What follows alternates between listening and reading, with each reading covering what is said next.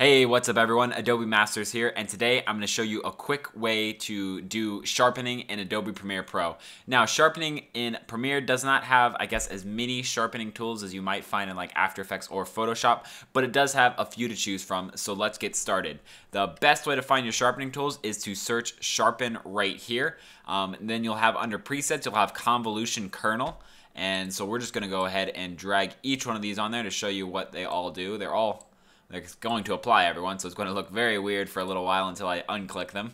Um, then down here you have sharpen again, and then unsharp mask. So let's go ahead and drop all these down right here, and then we are going to just go down. All right, so the first one here you have is convolution kernel. Um, it's a pretty intense one that uses like different channels. So if you'll see, these are all the channels, and it heightens the brightness of some channels and it darkens the channels of others. And so it creates this really intense sharpen. Um, also notice that sharpening on like so it might look bad on this image but some images it might look good and that's why it's good to kind of throw all of these on there and then just figure out which one looks best if you want to manipulate these if you use the arrow keys it's kind of like really really um I don't even. Yeah, it's it's it's extreme here. So let me see. Does it support? No. So yeah, kind of hard to manipulate this one because you don't have a lot to work with. You go one way and it almost. I mean, there's no like minute thing. It does not go into like the point two and point three or anything like that. So yeah, just throw this one on there. If it looks good, cool. A lot of times though, it'll look really blown out it just will look um, really strong. You could use a mask to maybe feather that out and get to a point that you want. But yeah, that's that is the convolution kernel Gaussian. And then you have this one right here, which is convolution kernel convolution kernel sharpen. Um, same thing, except it's just using them in a different way using all of the channels, using different channels in a different way. And this one for this image actually looks pretty good. Um, I actually like this one a lot. If you'll notice, let me make this really big for a second here. So if you notice, without the convolution kernel, or with it here, it kind of sharpens up the edges here. It almost makes the original look blurry. And you don't see much of the halo effect, especially around the details. You see a little bit maybe right, right there.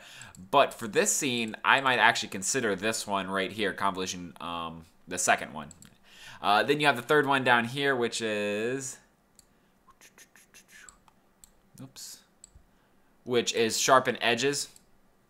And this one always looks funky. Um, I haven't had a piece of footage where this one looks good yet, but I'm going to keep looking. So yeah, that's that one. uh, then you have the next one, which is the sharpen more. And this one actually has a sort of a good side to it. Uh, I like it. Uh, in this situation, it actually does look good as well. Um, I still think number two looks the best in this situation. But this one does look good. And like I said, there's not much editing you can do in here. Um, it's still just going to be really, really intense. And let's see, the scale... Yeah, okay, I thought maybe that would change a little bit. No, it doesn't. So yeah, now the last one we have is just regular sharpen. And this one is the one you can really just sort of um, manipulate a little bit. It's going to start off at zero, so it won't do anything. And then it's just like a slider, like any other effect. You drag it up and it goes really sharp, and you drag it back down and it goes to zero. So you can really dial this one in. If you want to hold down the shift key with while hitting the arrows, you'll go 10 at a time, and you can really kind of um, just, you know, keep hitting it until you like the way it looks. Like So now it does look a little bit blurry right here. Up one, I'm liking, that's a very subtle sharpen. It almost doesn't look like it's there, but it's it is. I mean, that's what that's the beauty of it. It makes the it's correcting at this point. And I think you can almost bump this one up to 30 maybe, maybe 40.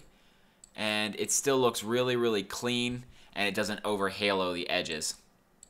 So like you can see right here before here, it at first it doesn't look blurry, but once you apply a sharpen, you realize how blurry your footage was. And you always have to you need to scroll as well and kind of play through the footage to see if um, if the sharpen is actually applying well.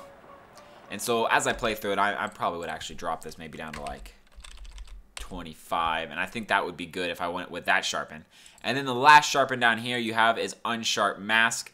And this one is um, an interesting way of doing the sharpen. Uh, it's still like the other one. It doesn't actually change that much until you change its radius up here. and then it really changes the sharpening. It's weird that it's called unsharp mask and it actually ends up sharpening the footage, but yeah, that's what it does. You can kind of manipulate so the threshold zero one amount there. Yeah, but anyway, those are your tools to sharpen in Adobe Premiere Pro. You have what is it? One, two, three, four, five, six options to sharpen. Um, uh, I would start with the sharpen tool if that if you're not looking for anything edgy. However, if you throw in one of these, it might actually look good. Like uh, like I was saying, number two, I actually did like a little bit. Um, kind of punches it too hard, but if I was going for a shot like that, maybe with some color correction, it would look really good. Um, sharpen, however, allows you to dial it in more as well as unsharp mask. All different ways to do it, all different, you know, styles of sharpening. Thanks everyone for joining me for this tutorial. Uh, subscribe to see more tutorials like this on Adobe related content. And until next time, guys, see ya.